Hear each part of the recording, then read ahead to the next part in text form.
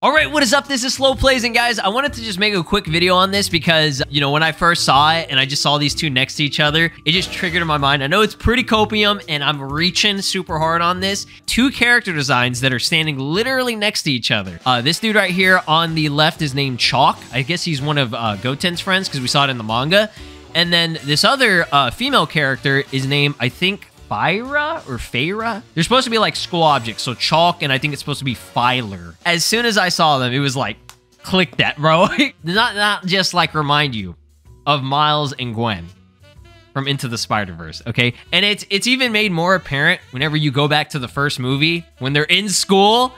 Dude, dude, there's like Can you guys see it? Look at that. Just, just just look at it, dude. not exact. I know he's got like a hoodie and stuff, but the school uniforms the hairstyle of the female character and and even you know the male character like both of them dude.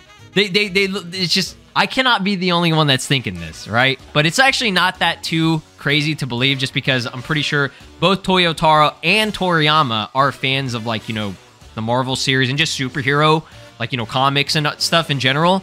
Uh, they've shown time and time again to like you know makes little subtle references and things to uh, you know superhero comics and material. Let me know what you guys think about it down in the comments. It's just I was just like, what? I know it's silly. It's silly. All right, y'all take care. Peace.